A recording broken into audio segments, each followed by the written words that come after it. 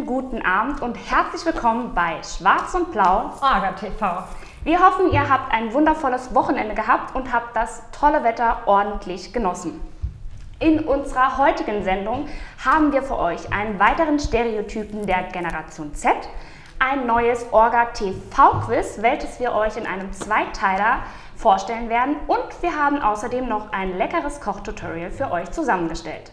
Los geht es erst einmal mit unserem neuen Quiz, das da heißt Orga TV Activity.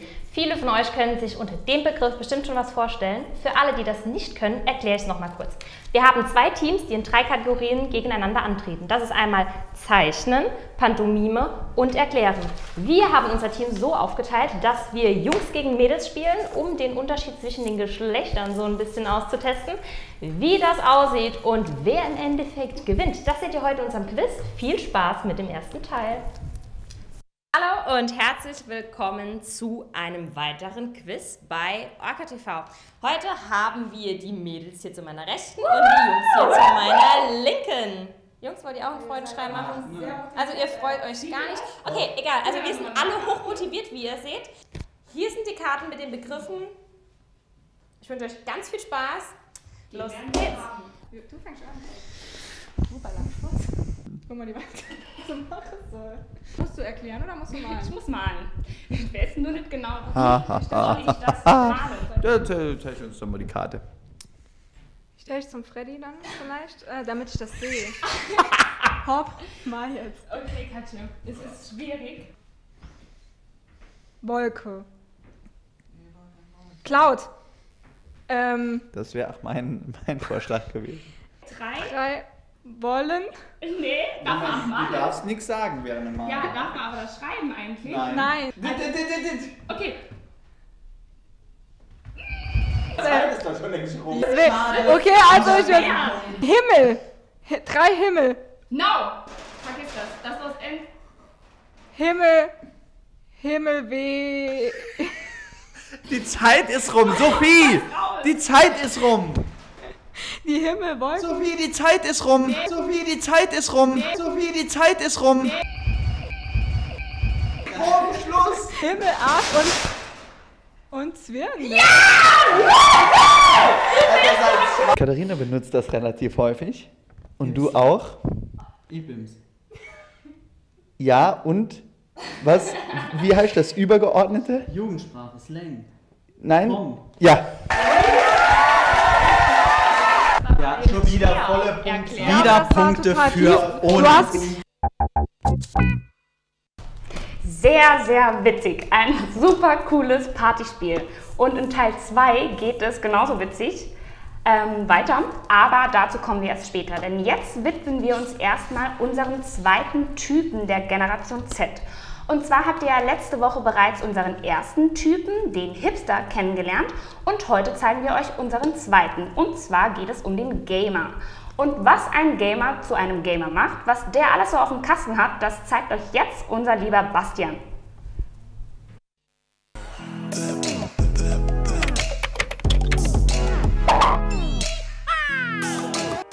Das ist Bastian. Bastian ist 24 Jahre und gehört damit zur Generation Z. Er ist auch ein Gamer. Aber was sind eigentlich Gamer? Als Gamer bezeichnet man heute nicht einfach Leute, die draußen mit dem Hund spielen. Nein, ganz im Gegenteil. Gamer vermeiden lieber die frische Luft. Sie bevorzugen oft dunkle und kühle Räume, in denen sie in Ruhe ihre Videospiele spielen können. Dazu benötigen sie in der Regel nur einen Bildschirm, die passende Spielekonsole und ein Spiel. Besonders beliebt sind bei der Generation Z Fußballspiele wie FIFA. Diese lassen sich online mit Freunden spielen und man kann sich so messen, ohne das Haus verlassen zu müssen. Aber Vorsicht, beim Verlieren ist man schnell frustriert und es bekommt meistens der Controller ab. Gamer verfügen über eine große Auswahl alter und neuer Spiele.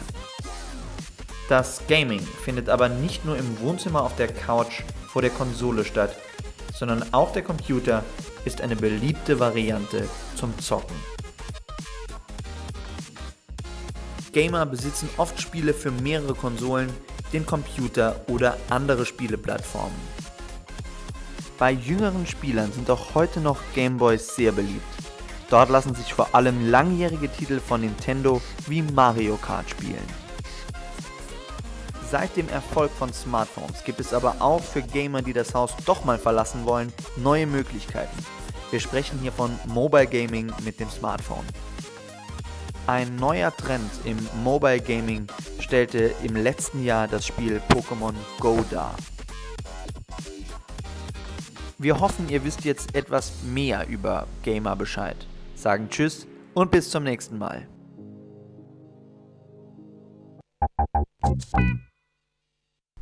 Damit wisst ihr nun Bescheid, was einen Gamer so ausmacht und ihr kennt schon zwei Stereotypen von der Generation Z.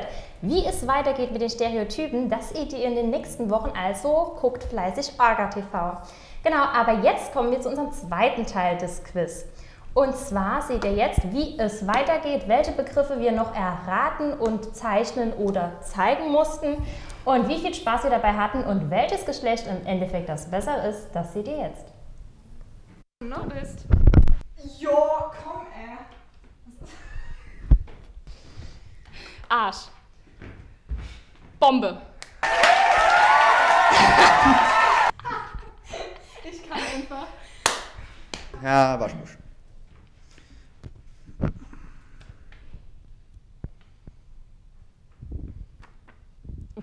Oh ist je. je. Wie will man sowas denken? Zeit läuft. Immer noch. Jo, jo, jo, jo, jo, jo, weil ihr acht nur eine Minute hattet. Ne? Komm, wir haben ja wohl Himmel, Arsch und Zwirn in einer Minute und drei Sekunden geschafft, oder? Klar, auf jeden Fall. Hate Speech. Ohren. Hate war. Hate.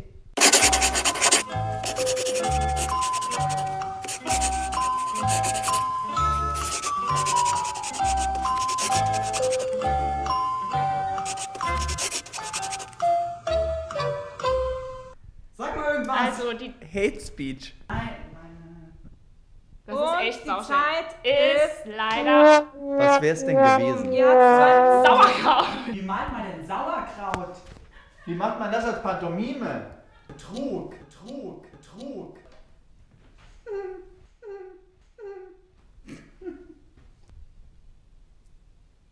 Dach. Dach. Dach. Haus. Zwei Wörter. Haus. Verwirrt. Verwirrt.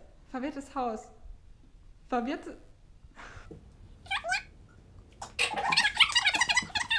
Die Zeit ist gut. Leider ist die Zeit auch an euch vor. So, fertig. Die Zeit läuft jetzt. Wo ist denn der Stift? Und los. Döner. Der Gerät. Dönerbude. Und Also wieder die volle Punktzahl für Wort, uns. ne? Also, wir haben vor der Sendung drüber gesprochen und zwar mache ich es gerade unter den Arm. Schweiß. Oder Schweiß. Fäng dich an. Musst du Pantomime machen, oder? Spice Girls, Gamer, Spice Girls, Irrenhaus. Musik, Musically. Das ist nicht?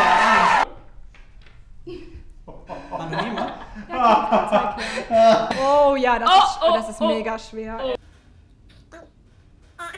Habilitation. Professor.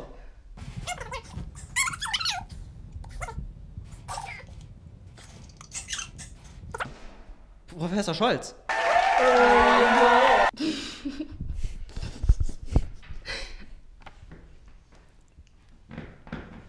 Eiskunstlauf, Pirouette.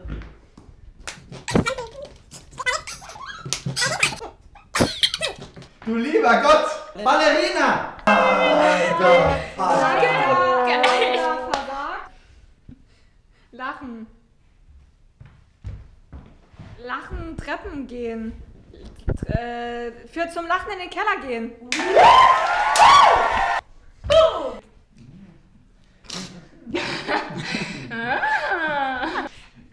Das ist doch easy. Stripper. Vielleicht in die Kamera, dass man es sieht. Ähm, Gogo-Tänzer. Stripperin. Geld, ähm, Und die Zeit ist um. Stripscheine. Tut mir leid. Wieder keine Punkte. 4 zu 4 geht's wieder aus. Wieder das Unentschieden. Gerechte Punkteteilung zwischen den Mädels und den Jungs. Oho, ein Unentschieden. Aber ich muss dir sagen, ihr Mädels wart wirklich besser. Woo! Mein lieber Mann, aber ich muss sagen, also diese Pantomime, das liegt dir, Theresa. Das liegt dir wirklich. Dankeschön. Ich nehme es jetzt mal einfach als Kompliment. Gerne, kannst du auf jeden Fall. Doch, doch. Ja, also das. Irrenhaus hätte ich erkannt. Ehrlich? Ja, ich glaube schon. Ja, ich finde auch, das Katja war auch nah dran. Ja, war nah sie auch. dran. Verwirrt, anderes Wort Sie war aber auch selbst verwirrt, glaube ich. Das nach glaube ich auch. Das Aktion glaube ich auch, ja. Aber verrückt sein, ja. Das Kopf kann ich. nachdem du dir den Kopf hier an der Wand dran geschlagen hast? Ja, ja, dem geht's gut. Dem geht's gut, Dem, ja, das freut mich dem geht's ne? gut, alles gut. Aber ich finde natürlich auch, dass wir Mädels natürlich die Besseren waren. Mhm. Aber das lassen wir natürlich ja nicht auf uns sitzen, denn wir haben uns auf jeden Fall schon mal ein neues Quiz ausgedacht, das wir euch dann in den kommenden Wochen zeigen werden. Und da gibt es dann die Revanche und da können wir Mädels uns dann mal ordentlich beweisen. Genau, da ziehen wir die Jungs mal ganz schön ab hier. Oh ja, also Jungs, zieht euch warm an hier. Da wir beim Stichwort Jungs sind, heute in unserem Kochtutorial gibt es was ganz, ganz, ganz Leckeres und das ist wirklich Männersache. Jetzt kommt das Kochtutorial.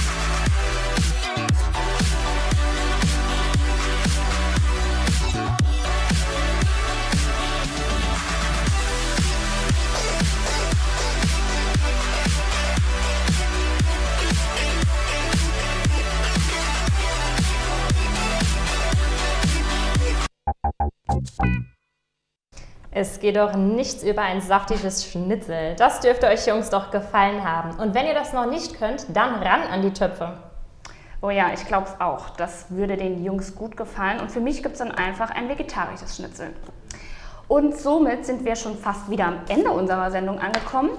Aber natürlich darf der Coolio nicht fehlen, denn der zeigt euch jetzt nochmal die coolsten und angesagtesten Events am kommenden Wochenende. Denn schließlich steht ja Pfingsten vor der Tür. Ja! Hallo, ich bin euer Jo und herzlich willkommen aus der Orga TV Zentrale zu unseren zufällig ausgesuchten Veranstaltungstipps im Zeitraum vom Mittwoch, den 31. Mai bis Dienstag, den 6. Juni. Auch diese Woche gibt es in Saarbrücken und Umgebung wieder einiges zu tun. Wir fangen an am Mittwoch, den 31. Mai. Um 20.30 Uhr spielt der SV Elversberg um den Aufstieg in die dritte Liga gegen die Sportvereinigung Unterhaching. Spiel ist in der heimischen Ursa Farm Arena an der Kaiserlinde. Tickets gibt's noch für unter 10 Euro auf sv07elversberg.de. Am Donnerstag, den 1. Juni, beginnt das größte Volksfest im Südwesten der Republik. Über 100.000 Menschen werden in den kommenden drei Tagen den spannenden Programmmix in der Innenstadt und allen Stadtteilen Saarlouis besuchen, der am Samstag mit einem großen Musikfeuerwerk endet. Das Partywochenende beginnt am Freitag, den 2. Juni in der Kufa spielt Dr. Peacock und The Mastery sowie noch weitere Artists. Los geht's um 23 Uhr. Tickets gibt's auf reservix.de für 18 Euro. Im Mauerpfeifer präsentiert Tiefklang die ESCI 4 mit Drum and Bass. Los geht's um Mitternacht. Im Modul läuft Synthy Punk mit Hildegard von Binge Drinking, Krautrock und Robo Vocals, was auch immer das heißt. Los geht's um 20 Uhr. In der Garage läuft der Freitag Party-Klassiker Best of Garage. Freier Eintritt von 11 bis halb 12 Uhr Pilz für 1,80. Am Samstag, den 3. Juni, beginnt das Ulanen-Pavillon-Wochenende. Bei schönem Wetter gibt's ab 11 Uhr morgens alles denkbar Leckere. Abends kann ab 11 im 7 gefeiert werden mit dem Smash-Event. Hauptsächlich Black, bisschen Haus im Mauerpfeifer die Ebene 2 mit Deep Fredson und Dirty Erdy. Im Club Number 1 bzw. Apartment die Back to Black Nacht mit Hip-Hop und R&B steigt ab 23 Uhr. Ebenfalls Hip-Hop im Soho mit der Hip-Hop One Crew ab 11 ebenso. Am Sonntag, den 4. Juni, ist Pfingstsonntag und in Saarbrücken scheint ein Ruhetag zu sein. Wer ganz weit fahren will, kann zum Grashüpfer Open Air Festival nach Karlsruhe. Tickets gibt's auf Eventbrite für zwischen 20 und 70 Euro. Los geht's um 13 Uhr. Montag, den 5. Juni überspringen wir mal, denn da sehe ich keine Events. Allerdings am Dienstag, den 6. Juni, ist Kinotag und der neue Baywatch kann im Sinister Saarbrücken für 6 Euro gesehen werden. Ja, das war's auch schon wieder mit eurem Jo aus der OrgaTV Zentrale. Wenn du deine Events hier vorgestellt haben willst, schick mir eine Mail an orgatv.orga.uni-sb.de. Jetzt geht's zurück ins Studio. Ich wünsche euch eine schöne Woche und feiert gut. Vielen Dank an Jo. Da hat er uns ja mal wieder einige Events zusammengefasst. Mein lieber Mann, mein lieber Mann, da haben wir alle mal wieder die Qual der Wahl. Aber ich gehe davon aus, dass auch für euch irgendwas Passendes dabei war. Da bin ich absolut sicher. Und schließlich ist ja Pfingstwochenende und das heißt für uns alle verlängertes Wochenende. Wem gefällt das nicht, oder? Ich muss dir echt sagen, der Mai und der Juni, das sind eine meiner absoluten Lieblingsmonate. Da Oh ja. gibt es so viele Feiertage. Das Meine ist so auch, toll. meine auch.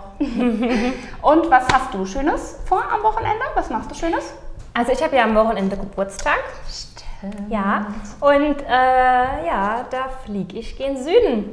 Ja, Wow. Ja, ich bin bis Montag aus dem Lande raus, aber Dienstag und Mittwoch natürlich, zu Orga TV bin ich natürlich wieder hier. Klar, ich meine, Orga TV ohne die Sophie, geht das? Danke, danke. Ja, aber das klingt richtig, richtig schön. Das, was ich mache, ist leider nicht so schön. Wieso? Was hast du denn vor? Ich fahre nicht in den Süden, ich fahre nach Stuttgart zu meiner Familie. Oh, das ist doch auch Ja. schön, oder? Und was macht ihr dort so? Ja, meine Tante hat Geburtstag und wir grillen ein bisschen, deswegen hoffe ich, dass das Wetter auch hält. Auf jeden Fall. Und wir hoffen, dass das Wetter auch gut wird. Und wie das Wetter wird am Wochenende, das zeigt euch jetzt unsere liebe Wetterfee, die Katharina. Hallo ihr Lieben, schön, dass ihr wieder eingeschaltet habt. Es ist schon wieder Zeit fürs Wetter. Ganz so gute Neuigkeiten wie letzte Woche habe ich heute leider nicht für euch, denn nächste Woche wird es insgesamt wechselhaft. Aber starten wir erstmal mit Donnerstag, dem 1. Juni. Neben wunderschönem Sonnenschein und heißen 28 Grad lässt sich hier und da mal ein Wölkchen blicken, also noch kein Grund zur Sorge, denn es bleibt heiß. Auch Freitag und Samstag bleibt es bei 29 Grad sonnig, allerdings kann es Freitagabend vereinzelt zu Gewittern kommen. Also tankt nochmal ordentlich Sonne, schnappt euch eure Freunde und begebt euch an den nächsten See oder legt euch ins Schwimmbad, denn für Sonntag ist leider wieder Regen angesagt. Der lässt uns dann wieder etwas abkühlen und bringt immerhin noch warme 22 Grad aufs Thermometer. Montag und Dienstag ist dann wieder Eisessen angesagt, denn hier lässt sich die Sonne dann wieder öfter blicken und lässt die Temperaturen wieder auf bis zu 26 Grad ansteigen. Ich hoffe, ihr seid nächste Woche wieder dabei, wenn es heißt, es ist 18.18 Uhr mit Orga TV. Sehr, sehr nice. Das klingt doch nach einem tollen sonnigen Wochenende. Genau so soll das sein. Genauso kann es nämlich immer sein, denn ich liebe den Sommer. Auf jeden Fall. Und damit verabschieden wir uns auch schon wieder bei euch. Wir hoffen, es hat euch gefallen und ihr schaltet auch nächste Woche wieder ein, wie jeden Mittwoch live um 18.18 Uhr. Bis dahin sagen wir an dieser Stelle Tschüss. Wir wünschen euch ein wundervolles, verlängertes Wochenende. Genießt es in vollen Zügen. Und wir sagen Tschüss und Ciao bei Orga, Orga. TV. Tschüss, tschüss.